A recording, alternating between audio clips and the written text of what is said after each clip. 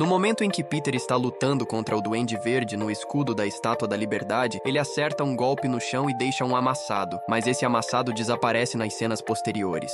Quando o Duende Verde aparece pela primeira vez, o Dr. Octopus o chama pelo nome. No entanto, é estabelecido que as únicas pessoas que sabiam da identidade de Osborn eram o Peter Parker, seu mordomo e seu filho. No comecinho do primeiro filme, o pôster da Decathlon Acadêmica mostra a data da competição como 13 a 15 de outubro. Mais tarde, quando o Peter decide participar da Decathlon Acadêmica, a data é para um único dia, 14 de setembro. Quando o Peter vai lutar contra o Electro, ele se comunica através de seu celular, que ele prende com fita adesiva no peito. Mas, se reparar bem, a fita cobre a câmera do telefone, então eles não deveriam conseguir ver nada. Quando o Peter rouba o carro do Flash, ele dirige de maneira descontrolada e colide com uma fileira de bicicletas. Mas na cena seguinte, o carro está intacto, sem sequer um arranhão.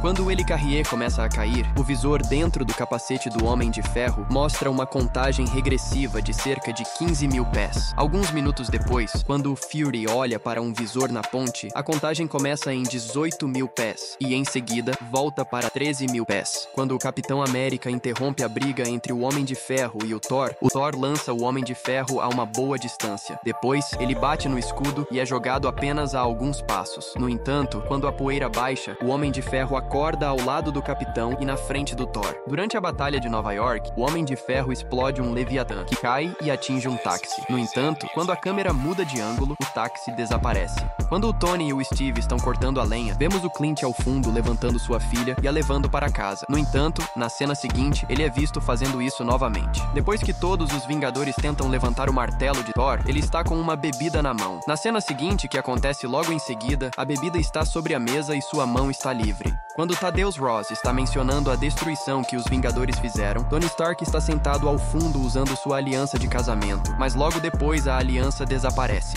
Durante a luta no aeroporto, os sapatos da Viúva Negra alternam entre salto alto e sapatos baixos. Nos créditos, o personagem Coronel James Rhodes é creditado como Tenente James Rhodes. Enquanto Stark e Peter Parker estão conversando no quarto, Stark tranca a porta, mas logo depois, sem que nenhum dos dois tocasse na porta, ela já está destrancada.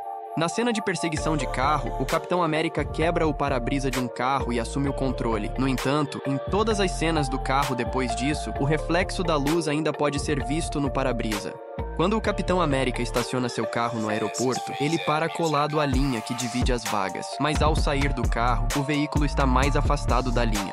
Quando o Homem-Aranha pega o escudo do capitão, ele usa sua teia para pegá-lo, mas quando ele aterrissa no carro, a teia no escudo desaparece. Quando o capitão e a viúva entram na sala de computadores de Zola, eles descem vários níveis abaixo do bunker usando um elevador secreto. Após o ataque de mísseis, eles são mostrados a apenas alguns metros abaixo do nível do solo. Ainda nessa cena, Zola diz que foi preso em 1945, mas, de acordo com a história, Zola é preso no mesmo dia em que Buck desaparece, em 1944. Quando o escudo do Capitão América é descoberto, ele está impecável, mas na luta final com o Caveira Vermelha, o escudo apresenta várias marcas e arranhões. Antes de Steve Rogers ser selado na cápsula para sua transformação em super soldado, dois braços de metal são posicionados sobre seus ombros, mas quando a cápsula se abre após a transformação, os braços desapareceram. Na cena do elevador, o primeiro par de algemas magnéticas que foi jogado contra a parede desaparece. Depois que Schmidt revela seu verdadeiro rosto, os dois começam a lutar, e é nesse momento que o Caveira Vermelha soca o escudo do Capitão América, deixando um amassado. Logo depois, o amassado desaparece e algum tempo depois, reaparece.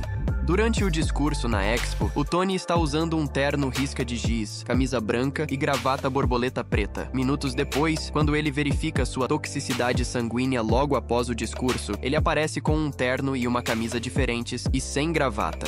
Na cena em que a Pepper desce as escadas para ver o Tony trabalhando, enquanto a porta de vidro se fecha atrás dela, é possível ver o reflexo de um funcionário na porta. Quando o Tony Stark dirige seu Audi até o Disney Hall, não há placa frontal no veículo. No entanto, quando ele chega, a placa personalizada está claramente visível na frente do carro.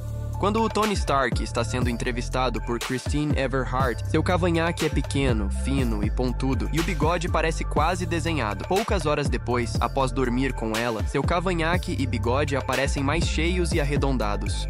Na festa beneficente, quando o Tony Stark pede dois martinis no bar, a garota à sua direita olha algumas vezes para a câmera por um instante. O desenho que o Deadpool está fazendo é diferente do que aparece no começo do filme.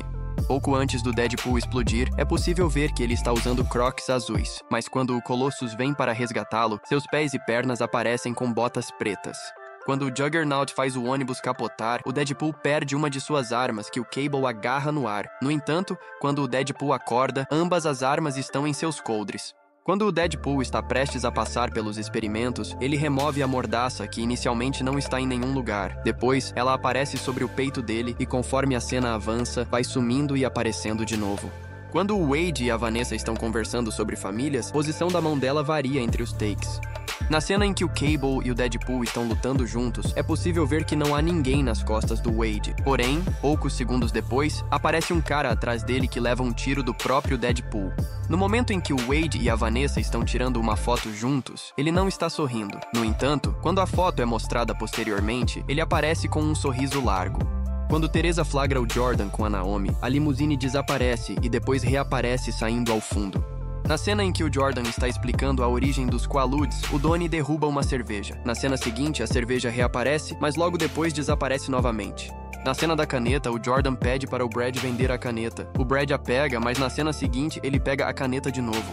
Ainda na cena da limusine, é possível ver a Teresa batendo a porta do carro duas vezes.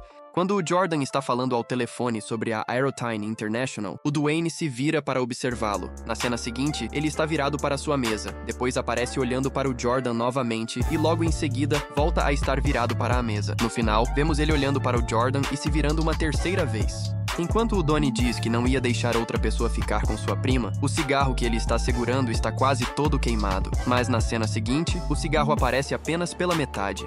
Existe uma cena em que o Jordan dá a Naomi um iate como presente de casamento, mas na cena seguinte aparece um modelo diferente. Quando Minerva pergunta ao trio por que, quando acontece alguma coisa, eles sempre estão envolvidos, a cicatriz de Harry não está em sua testa. Após o Harry tirar uma colherada da poção da bacia, ainda resta uma quantidade visível. No entanto, depois que o Dumbledore bebe toda a poção, Harry pega o medalhão com a bacia completamente vazia. Quando Harry está preparando a poção da morte-viva, no momento em que a poção de Simas explode em seu rosto, a posição da cabeça de Dino muda instantaneamente após a explosão. Quando Harry, Ron e Hermione acabam de deixar o fofo pela primeira vez e entram na área do dormitório, é possível ver os pés de alguém fechando o quadro. No momento em que Harry chega ao escritório da Umbridge, ela está alinhando uma única caneta que estava fora do lugar. Mais tarde, na cena, as canetas não estão mais alinhadas. Quando Harry leva Ron ao espelho de Odessed, ao soltar sua capa e correr, é possível ver claramente o verde-limão do lado de fora. Nas cenas em que Harry está de cabeça para baixo, com o trasgo segurando-o pelas pernas, sua cicatriz não aparece em sua testa. Quando Batman está fazendo uma videochamada, é possível ver nitidamente o Batman pela câmera frontal, mas, se reparar bem, ela está tampada com fita. Ainda nessa cena, é possível ver o Batman olhando para o telefone pelo reflexo dos óculos do Charada, o que seria impossível. No comecinho do filme, Bruce Wayne tira sua camisa e é possível ver uma grande cicatriz no ombro. Mas, logo após Alfred se machucar e ele começar a investigar as provas contra o Charada, a cicatriz desaparece. Quando Bruce sobe na moto pela primeira vez, suas mãos estão nuas, mas assim que ele chega à mansão Wayne, suas mãos estão enfaixadas. No momento em que Bruce vai falar com o Falcone, ele está jogando bilhar. Se você reparar na posição das bolas, elas mudam de maneira instantânea assim que o capanga passa. Quando Selina Kyle está abrindo o cofre, ela está usando luvas. Poucos minutos mais tarde, quando ela volta direto para o apartamento com o Batman, é possível ver que ela está com unhas longas, o que não teria sido possível de caber nas luvas.